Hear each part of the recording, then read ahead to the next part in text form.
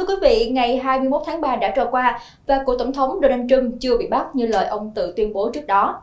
Tuy nhiên, chính quyền thành phố New York vẫn huy động đông đảo cảnh sát để đối phó với làn sóng biểu tình ủng hộ ông Trump. Như quý vị đang thấy, đây là hình ảnh cảnh sát thành phố New York đang dựng hàng rào bảo vệ quanh tòa án hình sự Manhattan hôm 20 tháng 3. Cảnh sát thành phố đã được huy động để túc trực xung quanh tòa án hình sự Manhattan, nơi đang xem xét việc truy tố ông Trump liên quan khoản tiền chi để bịt miệng diễn viên khiêu dâm Stormy Daniels trong cuộc vận động tranh cử tổng thống năm 2016.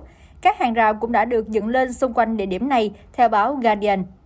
Những động thái trên nhằm kiểm soát các cuộc biểu tình phản đối việc truy tố của Tổng thống Mỹ.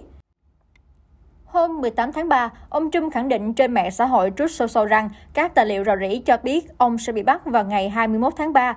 Ông Trump kêu gọi người ủng hộ mình hãy biểu tình, hãy giành lại đất nước của chúng ta.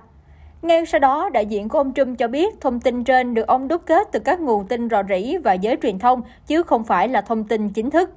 Dù ngày 21 tháng 3 đã đi qua, không có vụ truy tố, tuy nhiên, cảnh sát thành phố New York vẫn không xem nhẹ các rủi ro an ninh tiềm ẩn, coi ngày 21 tháng 3 là ngày báo động cao, theo đài CNN.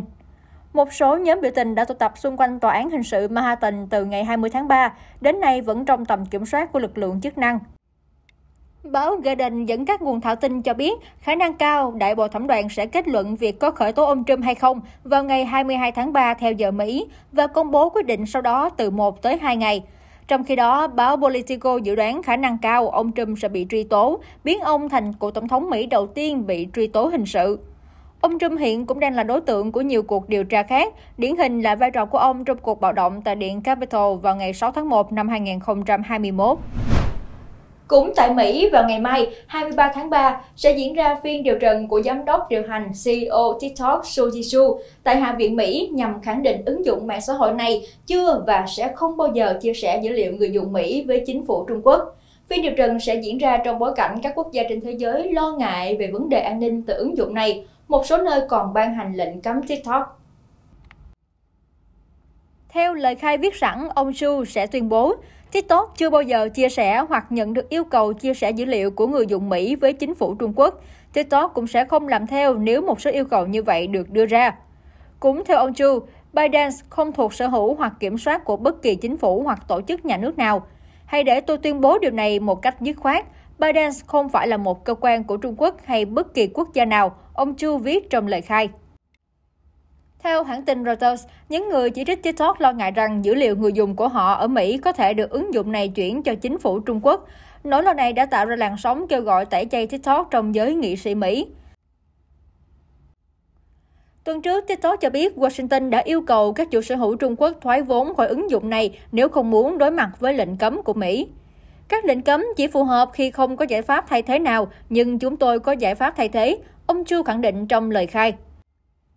Trước đó, TikTok tuyên bố họ đã chi hơn 1,5 tỷ đô la Mỹ cho dự án từ SaaS, cái được họ gọi là nỗ lực bảo mật dữ liệu nghiêm ngặt. Ông Chu cho biết khi quá trình này hoàn tất, toàn bộ dữ liệu được bảo mật của Mỹ sẽ nằm dưới sự bảo vệ của luật pháp Mỹ và dưới sự kiểm soát của nhóm an ninh do Mỹ lãnh đạo. Theo cấu trúc này, chính phủ Trung Quốc không có cách nào truy cập hoặc yêu cầu được truy cập các thông tin đó. TikTok thông báo họ đã bắt đầu xóa dữ liệu bảo mật của người dùng Mỹ tại các trung tâm dữ liệu ở đảo Virginia và Singapore trong tháng này, sau khi bắt đầu định tuyến dữ liệu mới của người dùng tới dịch vụ đám mây của hãng công nghệ Oracle vào năm ngoái.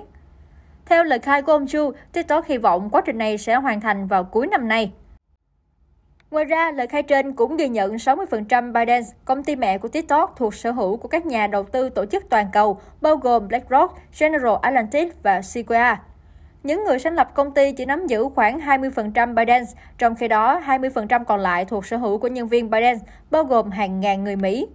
Hôm 20 tháng 3, TikTok thông tin hơn 150 triệu người ở Mỹ sử dụng TikTok hàng tháng. Năm 2020, con số này là 100 triệu người. Lời khai của ông Chu còn tiết lộ nhóm tuổi trung bình của người dùng TikTok là nhóm tuổi trưởng thành đã qua độ tuổi đại học. Mặc dù người dùng ở Mỹ chỉ chiếm 10% cộng đồng toàn cầu của chúng tôi, nhưng tiếng nói của họ chiếm tới 25% tổng số lượt xem trên toàn thế giới, ông Chu nói. Cũng theo giám đốc điều hành TikTok, các phiên bản hiện tại của ứng dụng này không thu nhập thông tin định vị GPS, dù là chính xác hay gần đúng từ người dùng Mỹ. Cảm ơn quý vị đã theo dõi tin nhanh 24 giờ. Tất cả thông tin sẽ được cập nhật trên tuổi trẻ.vn, video.tuổi trẻ.vn, kênh youtube của báo Tuổi Trẻ. Xin cảm ơn.